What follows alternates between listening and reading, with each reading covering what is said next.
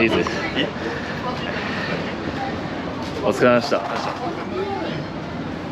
厳しかったっすか？いやうーんなんか気持ちしっかり、まあ、以前の自分のスタイルに戻そうっていう気持ちがあったので、まあ、それをしっかり、まあ、有言実行できたのが良、えー良かったポイントかなと思います。実際昨日の1走目に関してはどうですか？振り返って。いや不安しかなかったのが完全に表に出てしまったなっていうふうに思います実際でも足の状況的には、まあ、今日は先行しましたけどまあどうすでも昨日と同じぐらいの感覚だったんですけども、まあ気持ちが全然違うところで、まあ、そのあたりは自分の中で評価できるところかなと思います。あのカール選手は昨日もあの走りしてくれたら嬉しかったのにっていう。それはね昨日の失敗があったらこそ。3番ごめんって言っとく。3番手になっちゃう。あーごめんって言っとく、はい。なんとこれで逆故障にも乗れてこ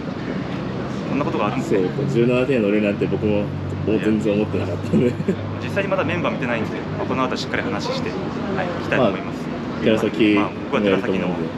肉しかない。はい、じゃあ昨日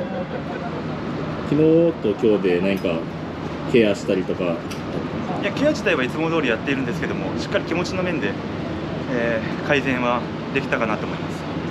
わかりました。じゃあこの後逆故障とはい、話して。準決勝に向けて意気込みをお願いします、明日に関してはね、まあ、近畿もいっぱいいて僕の中で頼れる後輩もいますんでそこはしっかりラインをまずしっかり固めてから、えー自分の勝ちにこだわってレースをしたいなと思います。頑張ってください